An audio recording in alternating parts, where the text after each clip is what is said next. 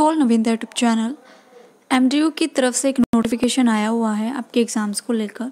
अभी जो एग्ज़ाम्स होंगे, वो होंगे डीटीई के पीजी कोर्सेज़ के।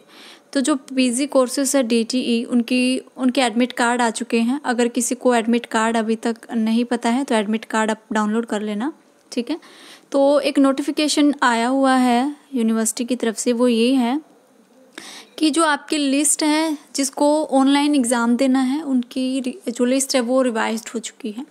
एक लिस्ट आई थी जिसमें बताया गया था कि आपके एग्ज़ाम्स ऑनलाइन होंगे या ऑफलाइन होंगे। जब स्टूडेंट्स ने अपने एडमिट कार्ड निकाले तो उनके उनके रोल नंबर पर एग्जामिनेशन सेंटर लिखा हुआ आ रहा था, जिन्होंने ऑनलाइन एग्ज़ाम्स के लिए अप्लाई किया हुआ था कि हम तो ऑनलाइन एग्ज़ाम्स देना चाहते हैं।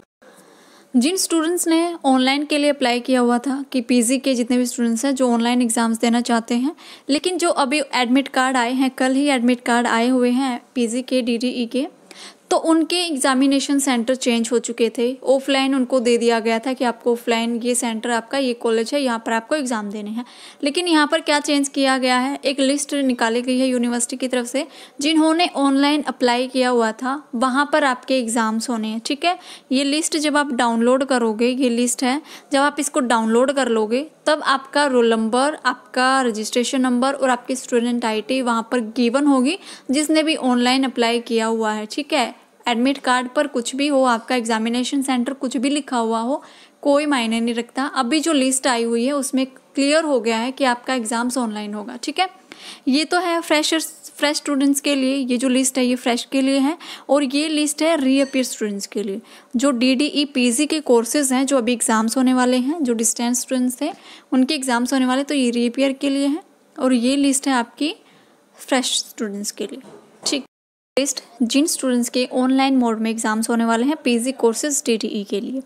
तो यहाँ पर आपके स्टूडेंट नंबर जो स्टूडेंट आईडी बोलते हैं, ये आपके रजिस्ट्रेशन नंबर ये रोल नंबर है student name father name course आपका एग्ज़ाम ऑनलाइन होगा ऑनलाइन की ही लिस्ट है तो ऑनलाइन लिखा होगा।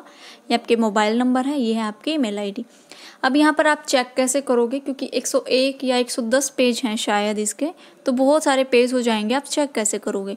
तो यहाँ पर आपको क्या करना है? ना तो स्टूडेंट आईडी आपको देखनी है, ना रजिस्ट्रेशन नंबर आपको देखना है।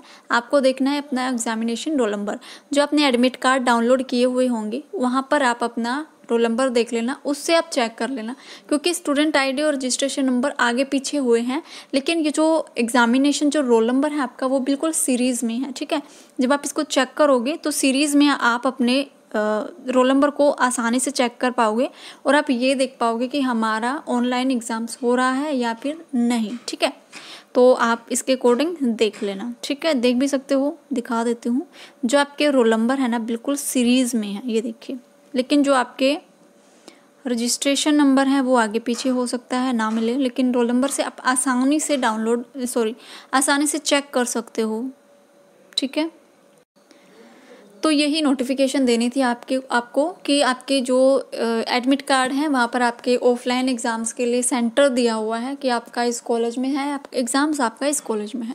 तब को डरने की कोई बात नहीं है, वो मिसप्रिंट हो गया होगा या फिर कॉलेज की यूनिवर्सिटी की एक गलती कह सकते हो, कुछ भी कह सकते हो आप तो यूनिवर्सिटी ने उसको सुधारने के लिए ये लिस्ट निकाल दी है। आप यहाँ से चेक कर सकते हो कि आपका एग्ज़ाम ऑनलाइन है या ऑफलाइन है, ठीक है? Okay thank you